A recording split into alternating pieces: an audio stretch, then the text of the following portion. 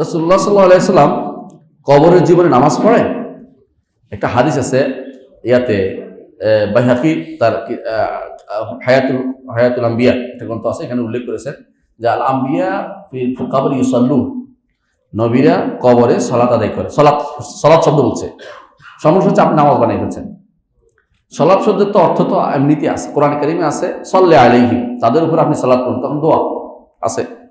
এখন কীভাবে তারা সালাত আদায় করে, কি, কোন সালাতটা আদায় করে, কোনো কাইফিয়ত বানাতে হয় না তারা কবরে জীবিত আছে, এটা আমরা বিশ্বাস করি। কি জীবন? দুনিয়ার জীবন না, আখরাতের জীবন।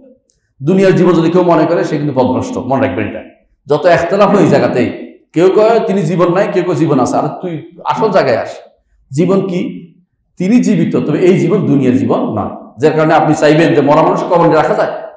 আপনি জানছেন যে কোনো মানুষ জীবিত তারা কবর রাখা যায়, তাহলে বের করে ফেলতে হবে নিয়ম। এটাই বের করে নিয়ম।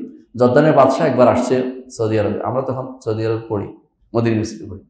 তো রাত আসার সময় উনি একদম খুব আবেগ বলতেছে, আমাদের দাদা জীবিত, এটা বলতে হবে তোমাকে। ইমাম রুমিয়াম বলতেছে, যদি জীবিত হয় তুমি বের করে ফেলো। বের করে দেখি তাহলে আখেরাতের জীবনে জীবিত, দুনিয়ার জীবনের সাথে কোনো সম্পর্ক নাই, এটা মাথায় রাখতে হবে। সেই জীবনের সলাতের সাথে আপনার দুনিয়ার জীবনের সলাতে মিল হবে না, কারণ অজু লাগে দুনিয়ার জীবনের সলাতে। ওখানে অজুটা কে করাই দেয়, আপনি বলতে হবে।